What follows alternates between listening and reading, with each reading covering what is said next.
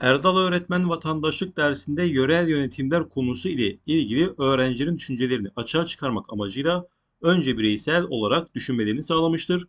Sonra öğrenciler eşleşerek konuyu gruplar içerisinde tartışmışlardır. Tartışmanın sonunda ise ulaşılan sonuçlar bütün sınıfla paylaşılıp bütün öğrenciler birbirlerinin fikirlerini öğrenmişlerdir. Erdal öğretmenin derste kullandığı yöntem teknik aşağıdakilerden hangisidir diye sorulmuş. Şimdi parçaya baktığımızda bir konu hakkında öğrencilerin düşüncelerini açığa çıkarmak için yapılan bir teknik var. Burada önce öğrencilerin bireysel olarak düşünmelerini sağlamıştır. Daha sonra öğrenciler ne yapmıştır? Eşleşerek konuyu gruplar içerisinde tartışmışlardır. En sonunda ise ulaşılan sonuçlar bütün sınıfla paylaşılıp bütün öğrencilerin fikirlerinin açığa çıkılması sağlanmıştır. Şimdi burada rol oynama olmayacağı zaten belli değil mi?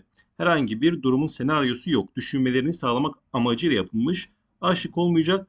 Kar topu arkadaşlar yakın bir cevap bu kalsın. Sempozyum değil zaten değil mi? Sempozyum bilgi şöleni zaten bununla alakası yok.